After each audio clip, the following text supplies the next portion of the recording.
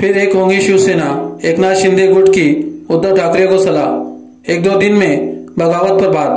करीब दो दिन पहले ही नागपुर विधान भवन में दीपक केसरकर और उद्धव ठाकरे का सामना हुआ था। इसके अलावा विधायक संजय सिरसाट और मंत्री अब्दुल सत्तार के बीच भी खींचातान जारी है। महाराष्ट्र की राजनीति में फिर उथल पुथल के आसार है। अब मुख्यमंत्री एकनाथ शिंदे, गुट के नेता और मंत्री दीपक केसरकर ने पूर्व सीएम उद्धव ठाकरे को आत्मसमंथन की सलाह दी है।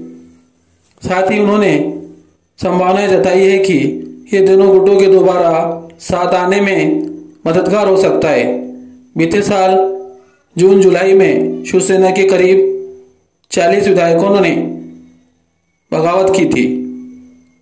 केसरकर महाराष्ट्र सरकार में स्कूल शिक्षा मंत्री है।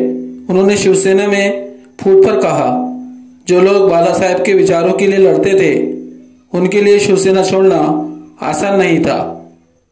कुछ बहुत बड़ा हुआ होगा जिससे विधायक बाहर निकल गए। जब मैं आत्ममंथन कर रहा हूँ तो हमारी पार्टी के पूर्व अध्यक्ष को भी आत्ममंथन करना चाहिए, कि क्या हुआ था, जिससे इतने विधायक चले गए। अगर उद्धव ठाकरे आत्ममंथन करते हैं तो शिवसेना को एक होने में समय नहीं लगेगा।